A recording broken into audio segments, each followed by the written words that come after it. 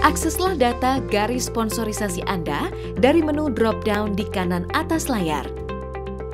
Anda bisa mengklik icon ini untuk menampilkan aktivitas di bulan tertentu.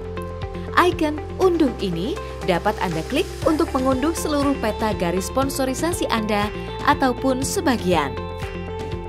Icon KPI ini berfungsi untuk memilih KPI apa saja yang ingin Anda tampilkan. Klik icon cari untuk langsung mencari downline yang Anda inginkan. Dan icon ini berisi berbagai pilihan tampilan lain. Pertama adalah lihat peta pohon yang akan mengubah tampilan daftar menjadi tampilan pohon. Lihat internasional adalah cara cepat untuk langsung melihat downline internasional Anda. Sembunyikan volume berfungsi untuk menyembunyikan data volume para downline Anda. Sedangkan sembunyikan ABO tanpa volume berfungsi untuk menyembunyikan para downline Anda yang tidak memiliki volume. Terakhir adalah tampilan ringkas yang akan memadatkan tampilan di halaman ini. Anda bisa mengklik icon plus di samping kiri nama untuk membuka grup masing-masing downline.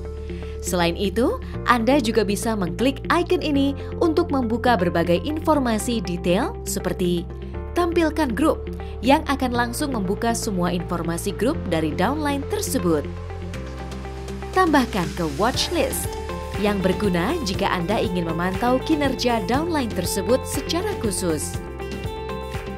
Profil yang akan menampilkan semua informasi kontak downline Anda. Kemudian, histori kinerja.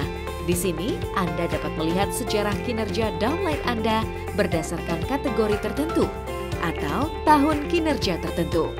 Anda juga bisa memilih mode tampilan yang diinginkan.